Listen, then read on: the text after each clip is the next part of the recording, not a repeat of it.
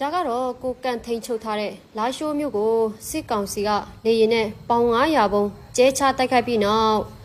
မြင်တွေ့ရတဲ့မြင်ကွင်းတွေပဲဖြစ်ပါတယ်။လူအများအိမ်မောကြနေချိန်ဒီနေ့မနေ့အစောပိုင်းတနာရီခွဲမှာရက်ကွက်နှစ်မှာရှိတဲ့ရထိုက်ဟိုတယ်နဲ့ဖိုလီလိုက်ဟိုတယ်ကိုဖျက်အားပြင်းတဲ့ပေါင်900ဘုံနှလုံးနဲ့စစ်ကောင်စီကကျဲချတိုက်ခိုက်ခဲ့ပါတယ်။ဒါအပြင်ဒီနေ့မနေ့၄နာရီဝန်းကျင်မှာပဲရက်ကွက်နှစ်မှာရှိတဲ့လက်ကီရွှေဆိုင်ကို စစ်ကောင်စီကဂျက်လီနဲ့နောက်ထပ်ပေါင်900ဘုံလုံးထပ်မံကျဲချတိုက်ခိုက်ခဲ့ပါတယ်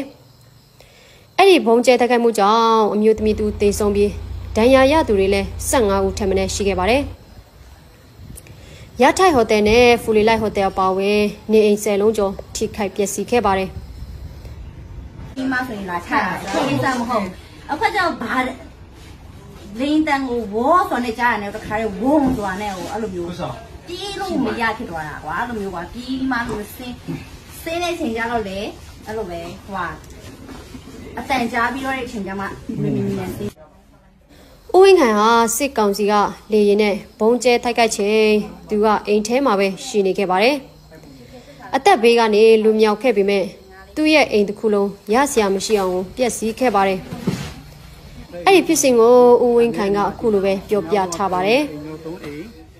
တော်နဲ့ဒူဟွာရှိပါတယ်ဟောလေး9ရောက်ရှိပါတယ်စုပေါင်းကျွန်တော်အပါ9ရောက်ပေါ့ထည့်ရတဲ့ရအောင်ပြီးကျွန်တော်9ရောက်တော့လည်းဖြစ်ဖြစ်လက်လက်နဲ့လေပုံနဲ့နေရာအချိန်ကြီးရောက်တော့ဟုတ်အချိန်ကြီးကျွန်တော်ထင်နေစက်ကမန်လာတော့ကြာတော့တော်မတ်ထိပါမှာအသက်အနေအောင်ရှိတော့တယ်အာဟောလဲဆိုတော့မျိုးရပွင့်သွားပါတော့ဒီမှာဆိုဒီသမန်ကြီးပွင့်သွားပါတယ်ဒီဒီသမန်ကြီးကစေပြီးမှ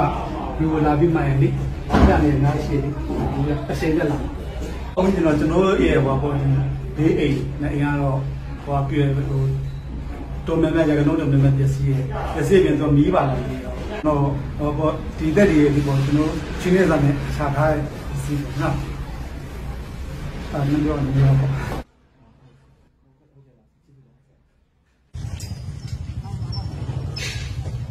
စစ်ကောင်စီတပ်ဘုံကျဲတိုက်ခိုက်ခဲ့တဲ့နေရာတွေဟာအရက်သားတွေနေထိုင်တဲ့နေရာတွေသာဖြစ်ပြီးအရက်သားတွေကိုပြစ်မှတ်ထား တိုက်ခိုက်နေတာလည်းဖြစ်တယ်လို့ဒေတာခန်တွေကပြောပါတယ်။လာရှိုမြို့ကိုကိုကန်ထိန်ချုပ်ပြီးနောက်စစ်ကောင်စီတပ်က9ကြိမ်မြောက်ဘုံကျဲတိုက်ခိုက်ခဲ့တာလည်းဖြစ်ပါတယ်။စစ်ကောင်စီတပ်ဟာညီနောင်မဟာမိတ်သုံးဖွဲ့ကိုအကြမ်းဖက်ဖွဲ့ဖြင့်ဂျင်ညာပြည်နောက်ပိုင်းညီနောင်သုံးဖွဲ့ကတိုက်ခိုက်သိမ်းပိုက်ထားတဲ့မြို့တွေကိုဆက်တိုက်ဘုံကျဲတိုက်ခိုက်လာတာလည်းဖြစ်ပါတယ်။ စစ်ကောင်စီရဲ့အရှေ့မြောက်တိုင်းစစ်ဌာနချုပ်တရှိရာလာရှိုမြို့ကိုကိုကန်ကဩဂုတ်လ3ရက်နေ့မှာတိုက်ခိုက်သိမ်းပိုက်ခဲ့တာပါ။လာရှိုမြို့မှာကိုကန်ကအုပ်ချုပ်ရေးရန်ညာတွေအကောင့်ထဲပေါ်ဆောင်ရွက်နေပြီးစစ်ကောင်စီရဲ့လေကြောင်းတိုက်ခိုက်မှုတွေကဆက်တိုက်ရှိနေတာကြောင့်ဒေတာခန်တချို့ကတော့နေရက်ပြန်မလာကြသေးပါဘူးရှင်။